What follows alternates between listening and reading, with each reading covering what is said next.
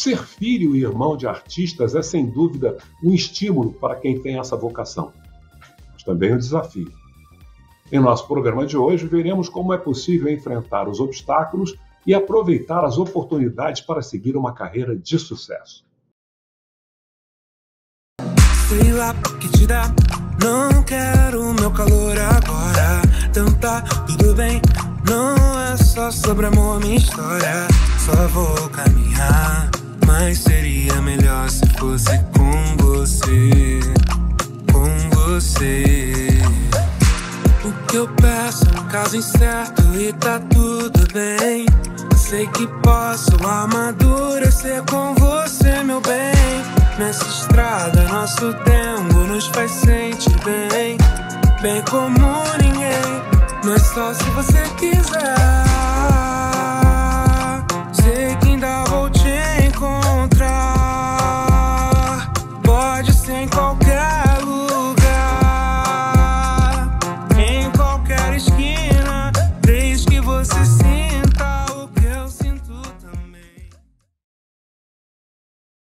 Nosso convidado de hoje nasceu no bairro carioca de Madureira, marcado pela música negra do samba ao R&B e ao soul. Filho de um ator, compositor e cantor consagrado, com uma irmã que também enveredou pelo campo da música, começou a tocar violão aos 11 anos e logo decidiu que era aquilo que queria para a sua vida. As condições da família permitiram que frequentasse boas escolas, mas o estudo da música, juntamente com ensaios, gravações, shows e também aulas e apresentações de dança, acabaram conduzindo sua existência. Aos 15 anos já fazia parte da banda Os Caras e Carol, em que atuou por cinco anos como guitarrista, apresentando-se em grandes eventos e casas de shows no Rio de Janeiro e em São Paulo, como Circo Voador, Fundição Progresso e Rock em Rio, além de abrir espetáculos de artistas renomados como Paralamas do Sucesso, Nando Reis e Frejá. E também colaborações com Camila Zassou, Luciane Dom, Wellington de Castro e o pai Serjão Lorosa dedicado ao R&B e ao soul, gêneros que se incorporaram à cultura afro-brasileira, lançou em 2021 seu primeiro single, 31 de agosto, e o segundo, Quando Chega, no ano seguinte, com produção de Pedro Guinu e participações do pai e da irmã, incorporando elementos do neo soul e do afrofuturismo. Vamos conversar com o cantor, compositor e produtor musical João Lorosa.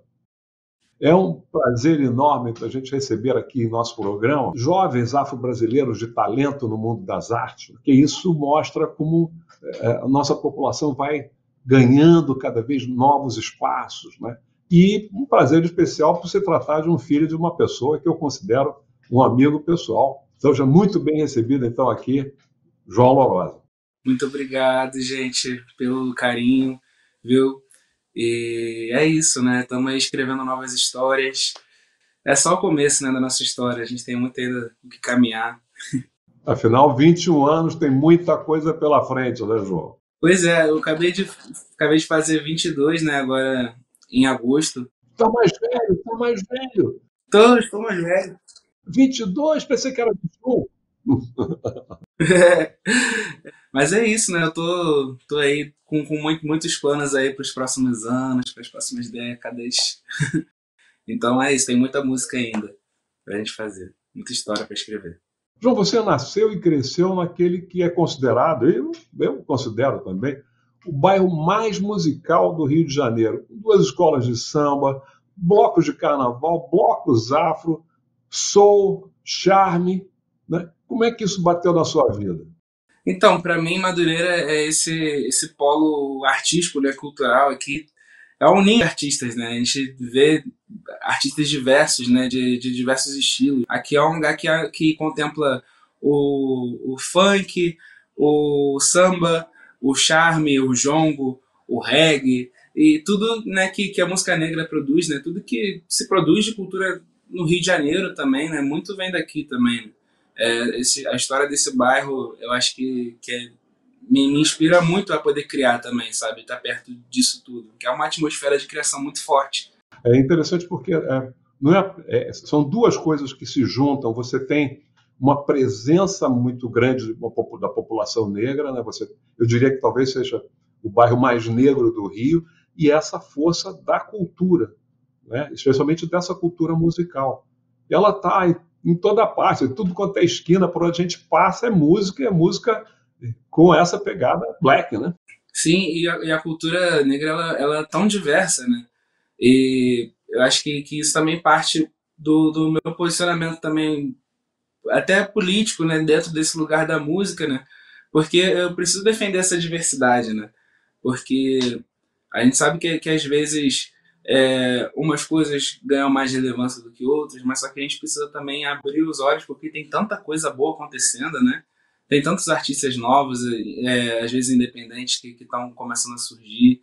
E aqui em Madureira eu consigo ver isso, né? Ter essas referências diversas, né? A pessoa que produz, que eu cresci com gente que, com percussionistas de, de samba, com compositores de samba e ao mesmo tempo com compositores de R&B, de soul, de funk, de hip hop, sabe? Então aqui existe isso tudo, né? E muito faz parte da minha luta também. Né? Bom, e além disso tudo, você tem um ambiente familiar marcado aí pela, pelas artes, não é? especialmente pela música, mas pelas artes, pelas artes cênicas. Né? Então você teve uma, uma infância bastante especial nesse sentido, muito privilegiado, não acha não, João? Com certeza, com certeza. Eu, eu acho que, tipo, para mim, um dos maiores privilégios é, por exemplo, de eu ter uma referência em casa, né, de, de alguém que trabalha com arte e que paga suas contas com arte, sabe? É, isso me, me faz enxergar a arte como um caminho possível, coisa que às vezes eu vejo muitos artistas também que não, não tem esse tipo de referência que eu tive, né? Então acaba que, tendo que ter outros processos para poder enfrentar, né? Que, que acaba realmente é, adiantando o meu processo por eu ter essa referência. Né? É, na época onde não tinha tantas pessoas pretas na, na televisão, né? E a pessoa que, que tava lá tava na minha casa também, né? Às vezes meu pai chegava em casa assim, tava passando a diarista na, na TV. Eu, Ué, como assim? Tem dois? Sabe? Isso é muito legal, assim. Isso pra, pra mim é uma coisa que me inspira também. Ele também começou a me ajudar a tocar violão quando eu comecei. Então, tipo assim, esse tipo de referência para mim é muito positivo. Além de violão, você toca mais o quê?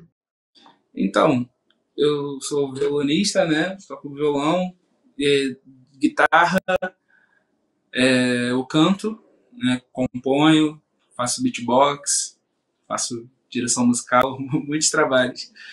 A, a condição econômica da, da, da, sua família permitiu que você estudasse em boas escolas, onde, evidentemente, a maioria dos alunos e dos professores não são negros. Como é que foi esse ambiente escolar para você?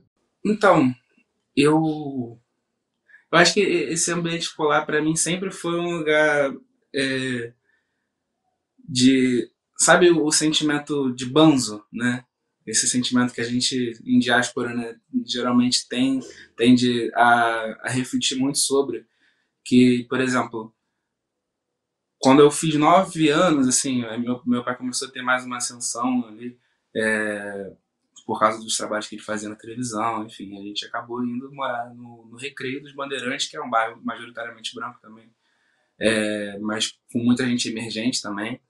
É, mas só que, assim, estudar nesses colégios, assim, eu, as pessoas que eu mais me aproximava mesmo eram, por exemplo, as faxineiras da escola, sabe, a galera da cantina, os porteiros, por que, que eu me identificava mais com essas pessoas, às vezes, do que com as pessoas da minha própria sala, né? Então, é, para mim é, é, muito louco isso, né? E eu precisei sempre criar essas minhas próprias referências, né? Porque é, no, no, meu convívio, no meu dia a dia, fora de casa, né? Eu não, não tinha essa, esse, esse, tipo de referência também. E minha irmã também me ajudou muito nisso, né? Nesse processo de entender minha negritude também, porque minha irmã mais velha, né? Quatro anos mais velha do que eu. E ela também é desse meio artístico, né? E ela sempre entrou muito em contato com esse lugar, né? De, de entender e refletir sua negritude. E, tipo, isso me influenciou muito também, né? Por estar ali perto e a gente poder refletir sobre essas coisas, discutir isso na mesa de, da sala de jantar, sabe? Isso para mim foi me ajudando a poder enfrentar isso de, de, de outras formas. Né? Quer dizer, na verdade, foi. Uh, o principal foi o ambiente familiar. Sim, eu precisava ter essa base, né? Porque eu também, dentro da escola, eu também tenho déficit de atenção. Então, é uma coisa que, por exemplo, para mim já era difícil o ambiente escolar. Então, para mim, é, quando eu comecei a, a estudar o meu instrumento, quando comecei a buscar sonhar com isso, porque eu vi que, por exemplo, mas pelo menos nessas escolas eu tinha um palco onde eu pudesse me apresentar, onde eu pudesse é, nas apresentações de fim de ano, sabe? Então eram coisas que ali era o único momento de um ano inteiro da escola que eu me sentia tipo pleno, inteligente, sabe? Coisas que dentro de sala de aula era negado, né? Porque sempre tirei notas baixas, sempre é, né? sempre foi uma luta mesmo para eu poder conseguir me concentrar ali nas coisas, poder fazer é, tudo, ainda mais quando a gente também é muito movido pelo prazer, né? Quando a gente sente é, o, o, prazer em alguma coisa, é muito difícil da gente procrastinar, né? Quando você tem déficit de atenção, no caso. Então, para mim, o prazer eu encontrava no palco. A percepção de que as pessoas naquele momento se valorizavam. É, exatamente. Exatamente, né? Porque são muitas inteligências, né? Não é só a que está ali dentro de sala de aula também. Exatamente, exatamente. Você começou a tocar violão com 11 anos. Exatamente. Qual foi a sua fonte de inspiração? Então, é, as minhas inspirações elas variam muito, né? Porque eu comecei a tocar vendo, estava assistindo uma novela, né? Na época que estava rolando, que era uma novela chamada Insensato Coração. E um dos personagens, né, que era o vilão da, da, da novela, tinha aquela canção do Rolling Stones, Satisfaction, né? I can't get no. Isso, exatamente. Aí, né, nesse momento, eu ouvi essa música, eu tava numa epifania, assim, né?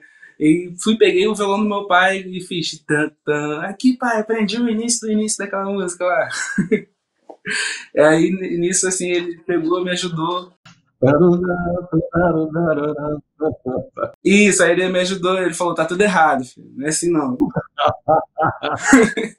e, e, e, me ajudou, né, me ensinou o resto da música. Aí dali eu, eu vi que era possível também, né, uma forma que eu também me senti inteligente ali, né, com, com o meu instrumento. É, onde eu podia explorar as coisas, né. Então, é, eu já comecei nesse lugar de explorar, por isso para mim também eu gosto muito do lugar do improviso, né? No, no instrumento também, porque eu comecei assim, comecei explorando ali, tocando, ah, essa nota parece com aquela, né? Foi de ouvido, né? Foi de ouvido, não foi? Isso, mas eu, eu tive outros professores também, né? O meu pai começou a me ensinar no início, teve um, um, tio, né, que sempre me ajudou muito, tio Alica, tio Beto, que também tocam, né? É, tocam instrumentos, não são, não, o tio Beto, por exemplo, ele faz músicas espíritas, é outra coisa. O tio Alica trabalha muito em barzinho, né? E, mas só, isso, essas experiências diferentes, assim, dentro da música, né? Foram me ajudando a entender também como eu poderia criar minha própria identidade. Aí eu fiz aula com o Serginho Velasco, né? Que é o guitarrista que toca com, com meu pai também. E ele fiz três anos de aula com ele, para mim me ajudou muito, assim. Foi ali que eu entendi que eu não tinha limite no, no instrumento, né? Podia fazer o que eu quiser mesmo. Então, é mais ou menos isso, tive esses professores. E como é que você entrou para os Caras e Carol? Mas isso nós vamos ter que voltar no próximo bloco, porque esse está chegando ao final.